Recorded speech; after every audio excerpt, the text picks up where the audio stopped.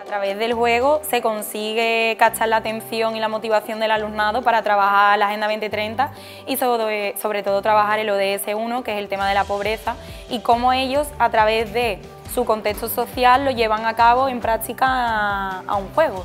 Entonces yo considero que es una forma muy atractiva y muy lúdica de que el alumnado participe y empiece a tomar conciencia y participación.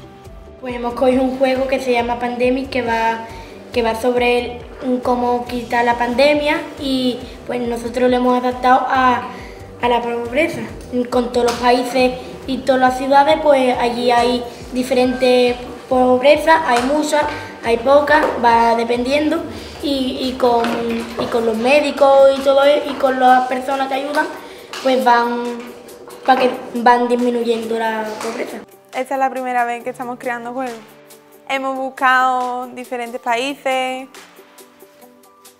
para poder acabar la pobreza. Están trabajando la pobreza, que de, entre diferentes métodos lo que queremos conseguir es que mm, la disminuyamos o ayudar a que tampoco sea tan, tan efectiva.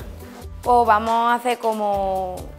centros donde eh, algunos van a dar comida, alojamiento, hay médicos, hay las personas que dan la comida, dan ropa. Estuvieron buscando palabras relacionadas con el tema y ahora también han estado buscando, hoy en, la sesión de hoy han estado buscando también índices de pobreza eh, de diferentes países, diferentes ciudades para relacionarlos con el, con el juego. Son cosas que van, que van aprendiendo y que se, se pueden adaptar a los currículums de las asignaturas. Aprende que puede dar un kilo de alimento en, una iglesia o, lo da en tu colegio para un, un, proyecto y, un montón de cosas. O cuando viene Caritas da, un euro, un euro y algo o lo que tú quieras dar, en la misa, en la recolecta, intentar dar ropa en Madre Coraje, todo lo, que sea que no haya tanta pobreza en el mundo, pues es mejor para todo el mundo. Se trabajan varias competencias del currículum, no solamente la parte artística, sino que también ellos, pues mira, se trabaja el lenguaje,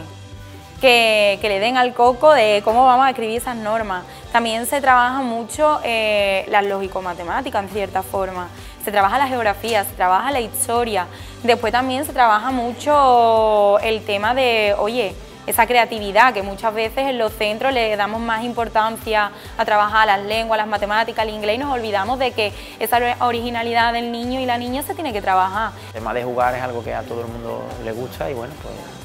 pues bien. Estamos haciendo creo que es un juego divertido y que de diferentes formas, no siempre es hacer lo mismo como en otros juegos, Creo que se lo van a pasar bien y es un juego muy divertido, pero, pero mm, pues, el juego puede durar una hora porque mm, no es lo mismo un juego que dura muy poco tiempo, que dura en 20 minutos, lo termina, que en un juego de una hora que te, lo, que te puedes reír, que te puedes divertir, que puede que, que surge cosas que, la, que el personaje que te toca no tiene cosas muy buenas,